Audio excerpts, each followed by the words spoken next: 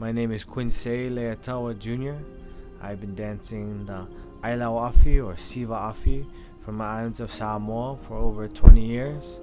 I've learned from my father, who learned from his father, about the art of the dance, stemming all the way back from the ancient Samoan war fields on the demonstration over the Nifo'oti, the tooth of death, the sword, which is the knife part of the fire knife.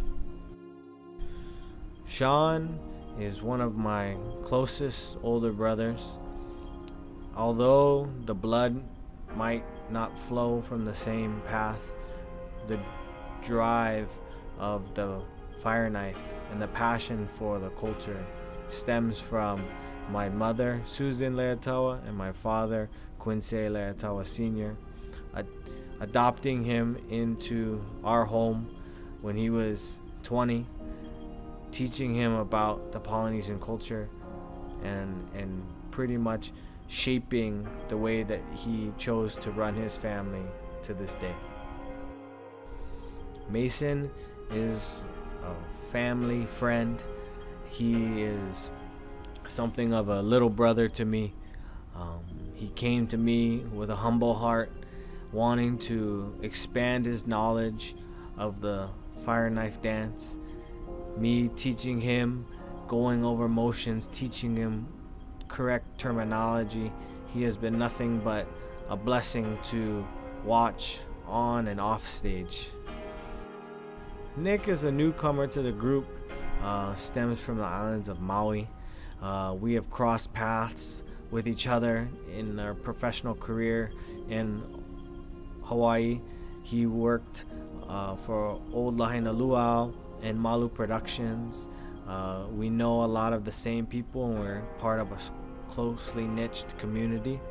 He currently moved to San Diego and um, reached out to me, and as well, we are working together to strengthen his knowledge of the culture and his dance practices.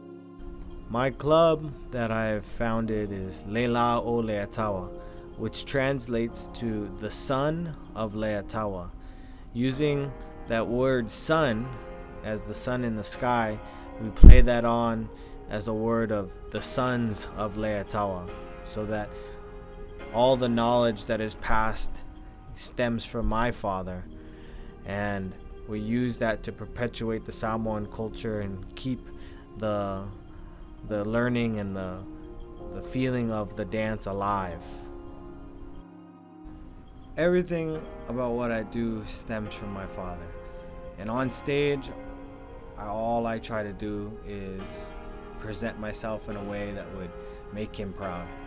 As my father is aging um, and, and no longer taking up the, the title of chief in our family and stop teaching, I take up that mantle and all I want to do is perpetuate the Samoan culture, but also perpetuate the knowledge that he has given me.